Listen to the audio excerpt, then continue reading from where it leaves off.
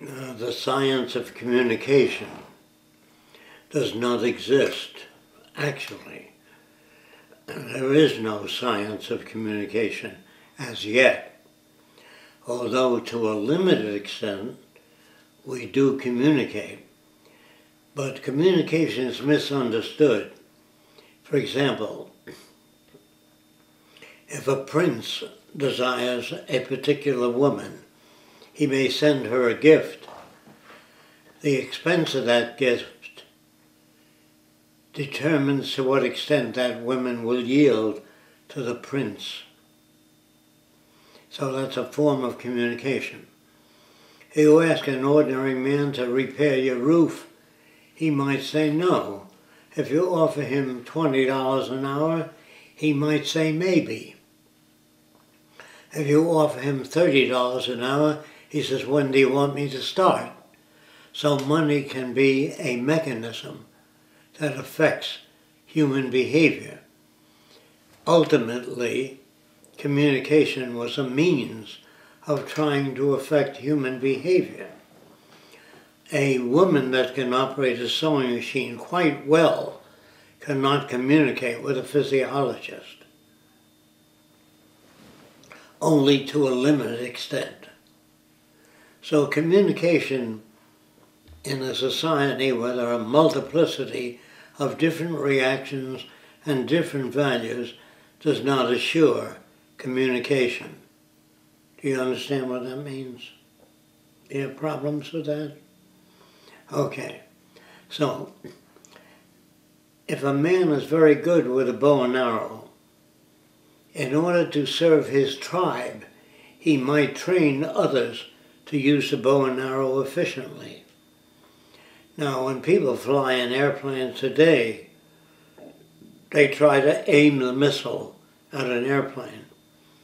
If someone designs a heat-seeking missile that goes up the hot end of an airplane or the exhaust port, you don't need to aim or develop a training program for that.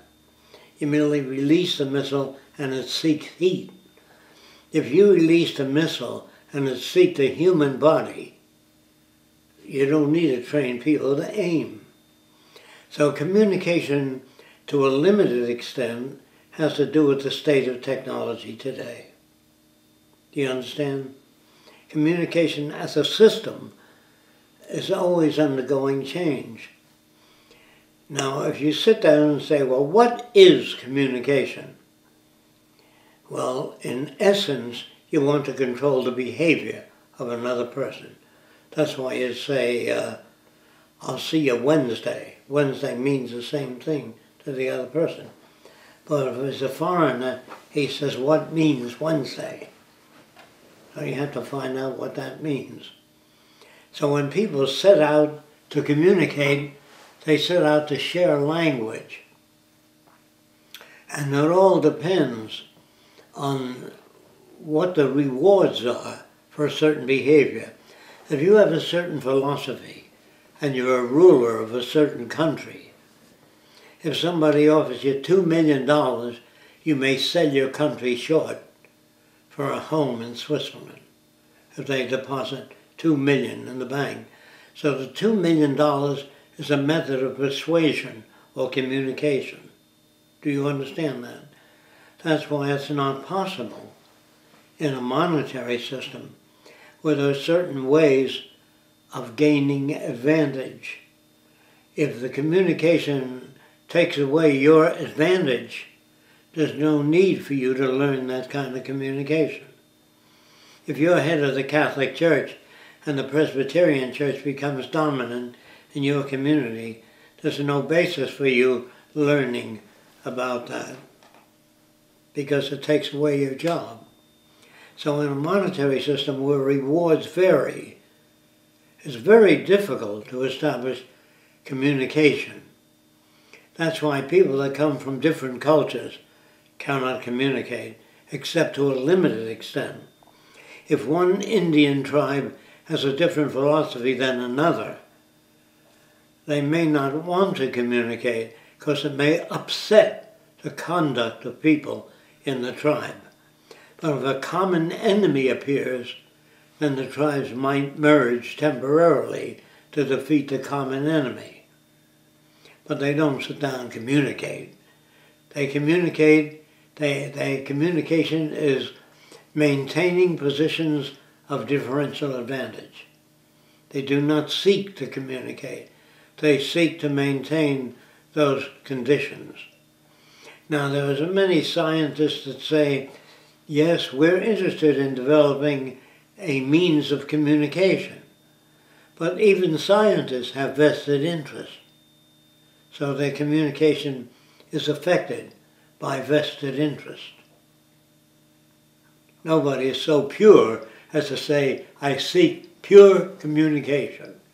You'd have to forget all about your culture, advantages, and living in a nice house, making money. All of that would interfere. But if you wish to communicate with another person, you either set out advantages, in other words, you bring the other person gifts, then they say, What have you to say? If you come at them and say, We're taking your land away because we can operate your land more efficiently than you can, they don't say, Great, do that. They have vested interest and they maintain their vested interest. That's why you can communicate on the nature of the planets and people will listen to you. It doesn't affect their income, their style of living, or their values. If you tell them that the moon always faces the earth as it goes around, they're willing to listen to that. But if you tell them things that interfere with their positions of differential advantage, communication fails. That is, there's no such thing. Am I clear up to now? This is why people can only communicate in areas where they have common values and common sense of gain in learning to communicate. If you learn to communicate with very primitive people, you might be able to talk to them, but it's no real advantage to you if you're technical to communicate with primitive people, unless you're doing an autobiography of some particular chief. So I would say, in the future, all primitive people will be updated, not treated as an anthropology study. Anthropology will be considered socially offensive behavior. If you go to a primitive tribe and you make notes of how they behave and what they talk to the trees about, uh, would not be the proper study of mankind. The proper study would be the conditions they live under and their limited communications you would have nothing to say to a Seminole Indian of extensionality to you. You might be able to extend the Indian a little bit, but he can't say anything that would help you. That's why I point out it wouldn't make much sense for you to talk to children because they can't say anything new. If they're 10 years old, say, my daddy has a bigger car than your daddy they can't say uh, the engine a Mercedes displaces so many cubic inches, therefore it's more efficient. They can't talk about those things unless they have rote memory with, an, with unreal, no, no real understanding of what they're saying. So when you say, is it possible to develop a science of communication, I will say no, not within established systems. If a system is established, it automatically cuts communication. Now, if you visit people from another planet that have achieved most and solved most of the problems we have here, there's a reason for you to learn their language. There's a real advantage in learning their language if they've overcome cancer, heart disease, most nervous disorders, there's a reason for you to listen. But some people have such a damaged ego, they can't even hear things that would serve as an advantage to them. They really can't hear it. He may say, well, they don't want to hear it because they feel they have achieved a level of advantage, and who are they to listen to other people. You know, you got ego problems. So let me say this. In order for us to communicate, we have to establish what communication is. If we don't establish what that is, and we can't at our present state of development, say what is communication without using a reference of our own values. So I'm using this term.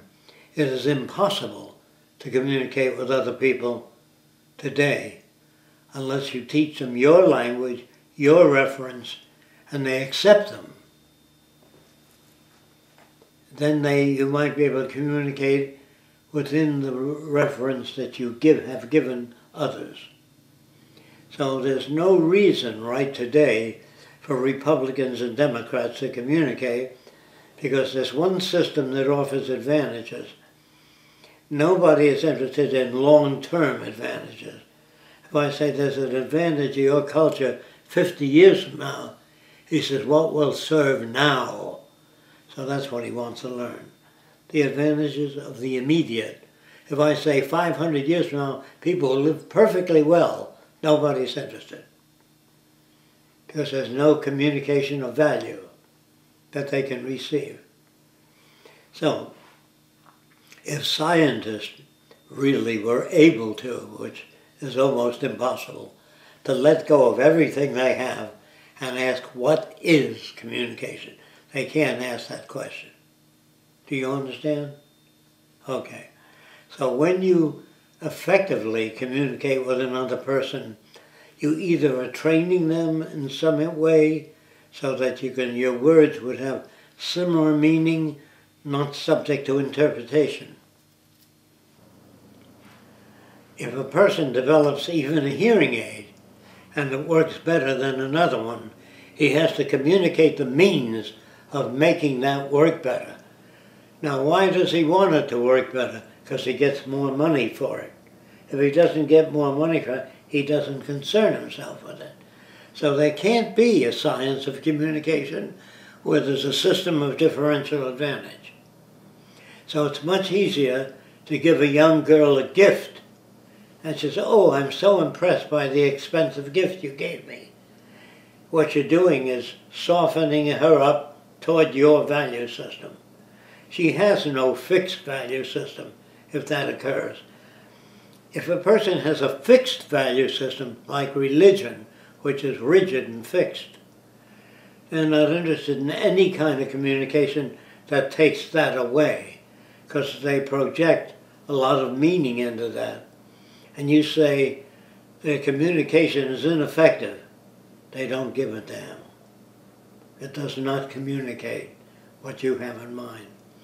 So, first of all, before you even talk about communication, you have to convince people that they tend to move along established lines because they have proven to be worthwhile within a given culture. Do you understand what I'm saying? I'm leaving out sunny day in May. I'm going right to the point. So if you sit down and you want to communicate with another person, first ask them why they want to listen to you. Because it serves no immediate value unless they're studying communication. Now, the science of communication today would be in a given field. If you learn mathematics, you can get jobs doing certain things. So people do not study to improve communication. They study to pick up an advantage, advantageous system. Is that clear? They do not study to improve communication. Even though a person says, I'm a student of the language of communication, they can't be that and be a member of society. Do you understand that? If a person comes up to you and says, I am completely neutral, I've come to study communication, that is not possible. Do you understand why? Nobody can be completely neutral. You're always a victim of culture.